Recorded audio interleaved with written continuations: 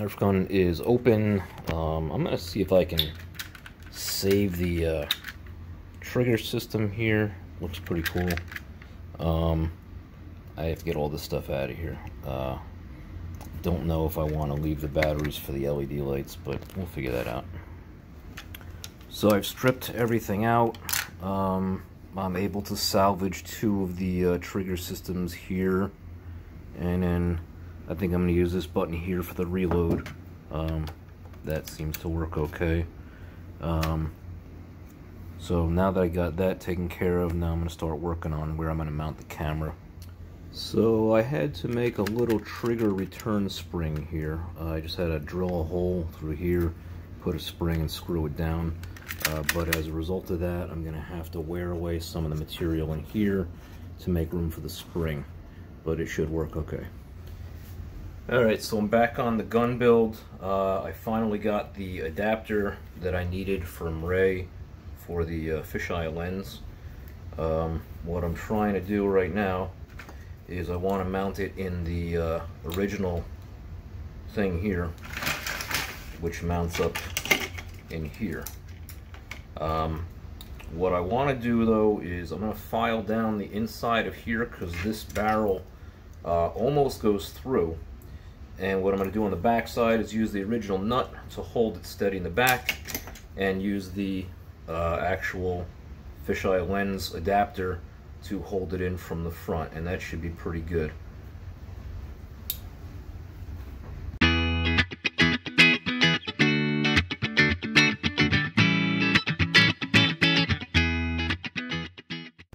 Alright, so through the power of the Dremel, uh, I was able to make the original nut for the IR camera about like that. Uh, I should be able to bottom this out in there. And it looks pretty good. Uh, now I should be able to snake the camera right through.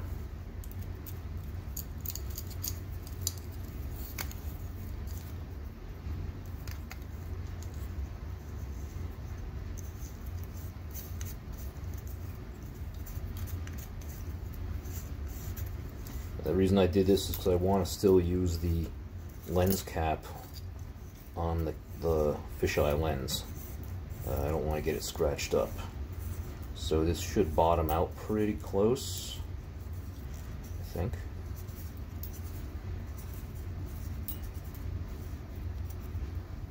Something like that. And does the cap still work? Yes, it does.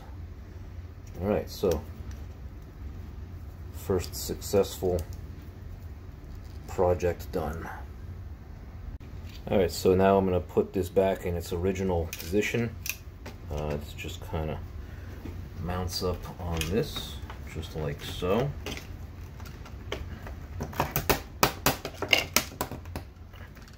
All right. And this thing can go back on here somehow.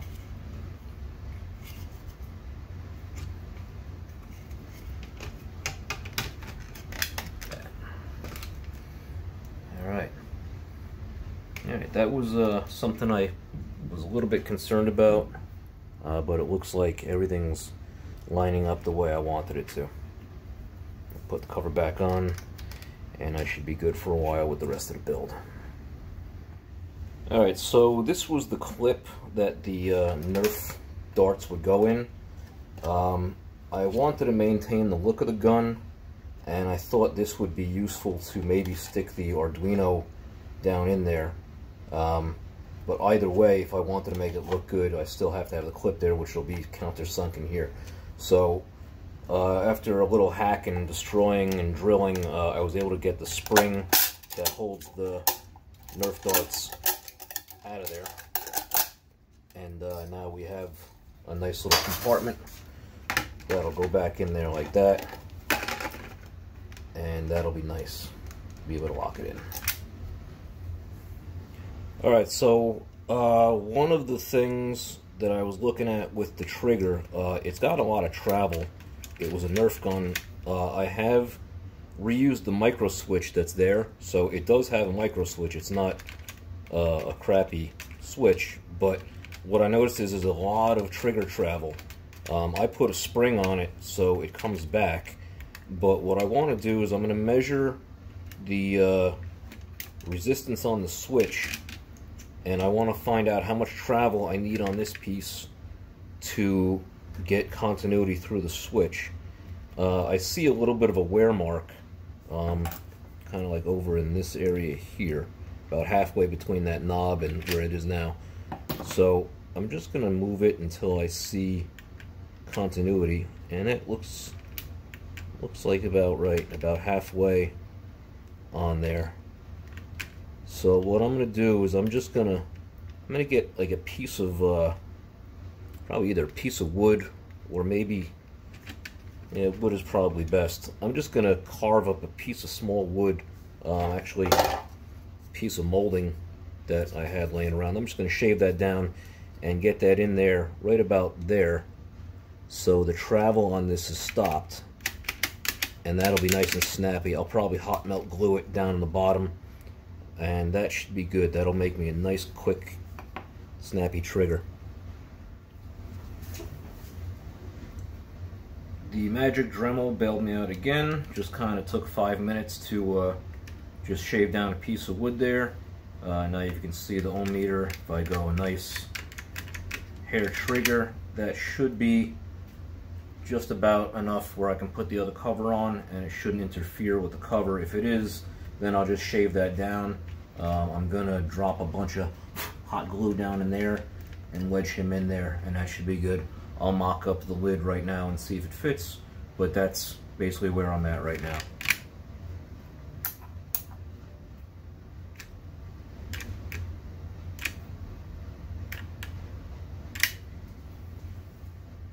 Trigger stop is installed. I also realized I had to run some wires through it, so I just drilled a small hole. I have just the amount of trigger travel I want right now, and everything looks good to keep moving forward. I think what I'm going to do with this gun, because I have a, a rifle I really want to make nice, and now that I got my, uh, my pistol from Ray, I may or may not put rumble in this, because uh, I want to save it for the rifle. But uh, as of right now, I have to add one more button and this gun will be essentially an AimTrak which you can use both buttons. Uh, I always had trouble setting mine up with both of those buttons working, but I may do that. Uh, this will probably be the gun I leave for company when they company when they come over. Alright, so the next thing I wanted to do is get my buttons into some perf board. I got these buttons off Adafruit. They come with the caps. Um, all the switches are connected on ground. So what I'm going to do is after I get the switches in, uh, the ground side control is going to go from ground.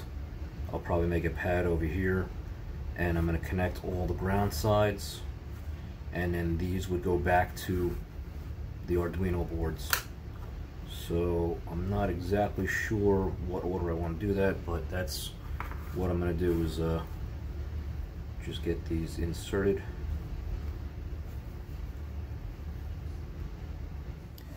Alright, so what I'm going to do is I uh, got some black wire here. I tinned it on the end with the solder and I stuck it through that hole there.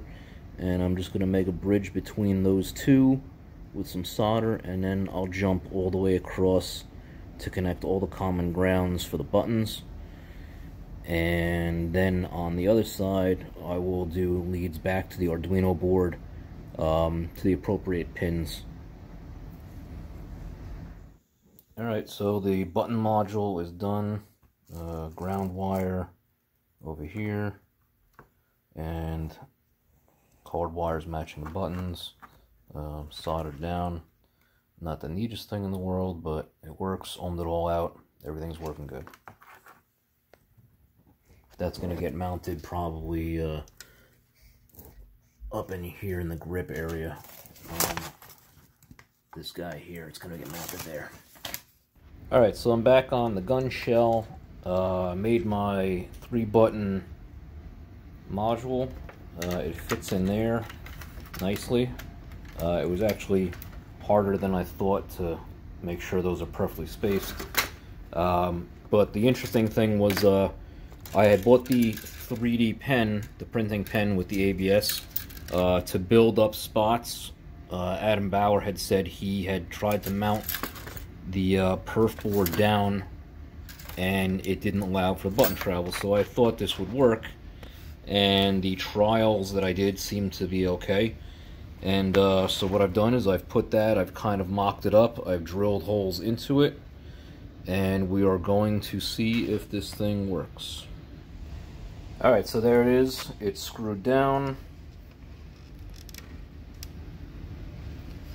Everything seems pretty good. Flip it over.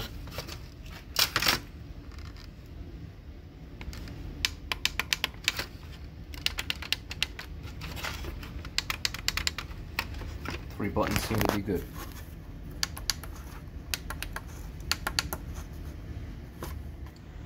Today I didn't intend on spending a lot of time on this, but I came down and wound up spending an hour or so. But today I mounted up the recoil solenoid.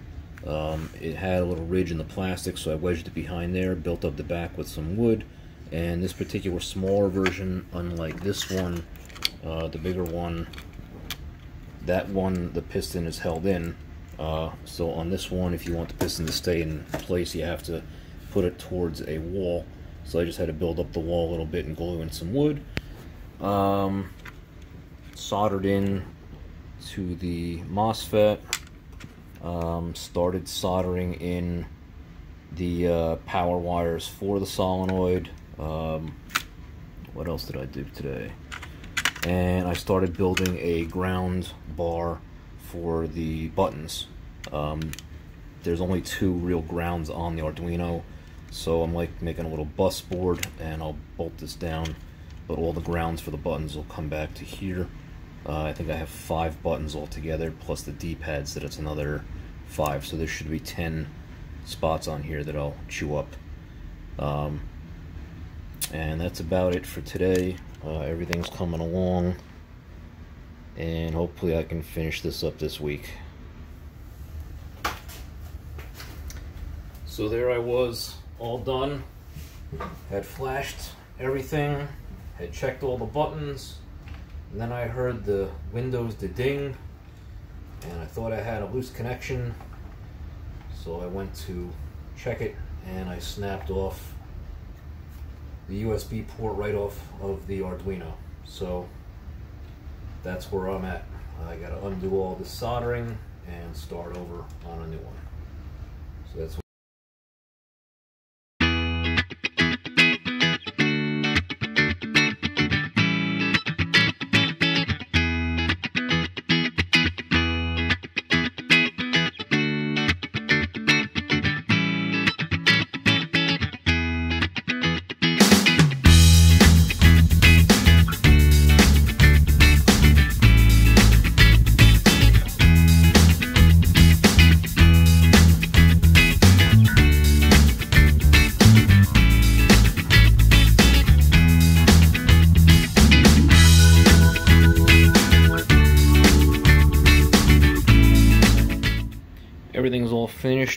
uh, little wire management, best I could. Um, I actually verified everything works on the GUI for Gun4IR. It actually took longer than I expected because I had the lens cap on the lens. So I couldn't do anything. And then finally I realized the lens cap was on. So after I took that off, everything went smoothly. Uh, I glued down the Arduino board, uh, tried to keep everything as best I can neat and tidy and now I'm going to screw everything together and hope it still works. Okay, so that's the finished product. Uh, up front we have the fisheye lens, I have three buttons, uh, trigger, uh, you like to use this for relay down here. Uh, the uh, flex loom, it's the same loom Adam recommended on his builds along with some of the shrink tubing. I added a stress relief boot on there.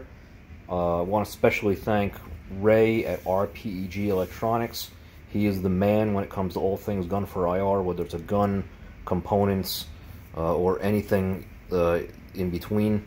He's a valuable resource for any of the equipment you might need or if you want to just purchase a gun outright, or even have him uh, do a set of guns from existing guns you have, whether it's Aimtraks or Sindens. Uh, I also want to thank Adam Bauer. Uh, I've always learned a ton on your videos. And also, uh, the other video I watched a ton of was the Arcade Pirate on YouTube. He uh, has done a couple of builds that I've watched as well. And now I'm going to go plug this guy in and see how it works.